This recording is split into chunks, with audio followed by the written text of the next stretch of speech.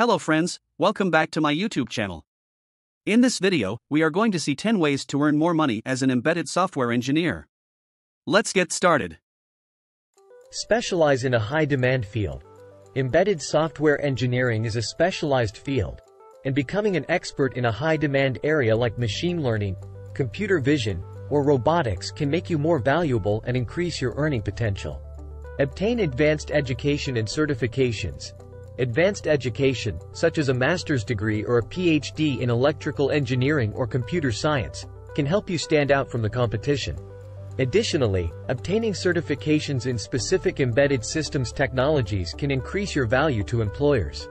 Stay up to date with the latest technologies. Keeping up with the latest developments in embedded software engineering, such as new programming languages or hardware platforms, can make you more competitive and valuable to employers. Work for a larger company. Large corporations often offer higher salaries and more benefits than smaller companies. Additionally, large corporations are more likely to work on complex projects that require specialized skills. Work for a company in a high cost of living area. Salaries are often higher in areas with a high cost of living, such as Silicon Valley or New York City. However, keep in mind that the cost of living may be significantly higher as well. Negotiate your salary. When you're offered a job, don't be afraid to negotiate your salary. Research salaries for similar positions and use this information to negotiate a higher salary. Freelance or consult.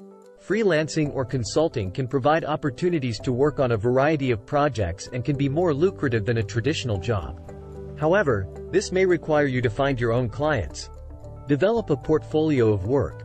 Building a portfolio of impressive work can demonstrate your skills to potential employers and clients, making you more desirable and valuable. Participate in open source projects. Contributing to open source projects can demonstrate your skills and expertise while also providing opportunities to work on interesting projects and build your network. Consider relocating.